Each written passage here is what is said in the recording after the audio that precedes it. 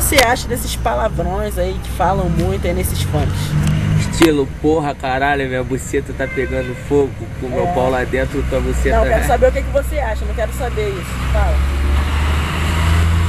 Pô, eu acho que, porra, é uma coisa que liberal, a pessoa se solta cantando. Entendeu? A forma de nós explicar que nós tá na putaria. Nós tá na putaria, nós tá na orgia. Isso é a forma, então é uma beleza, é uma maravilha. Entendeu? Oi, tchau. Valeu. Então, galera, é isso aí hoje. Bye, bye.